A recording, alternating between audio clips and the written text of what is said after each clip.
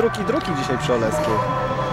No, drugi to oficjalnie lepiej tak nie mówisz, no mi tak tego nie wypada powiedzieć, no ale no, absolutnie nie zgodzę się z decyzją sędziego, zresztą chyba tylko on to widział, tego karnego i cóż powiedzieć, żal tych punktów, żal tej walki włożonej w ten mecz.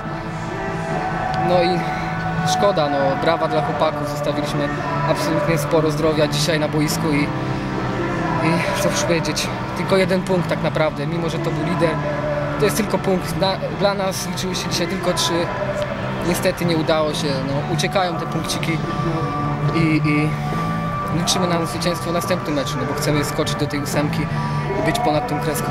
Powiedz, jak to z boiska wyglądało z Twojej perspektywy ta sytuacja, gdzie sędzia 11 gwizdnął?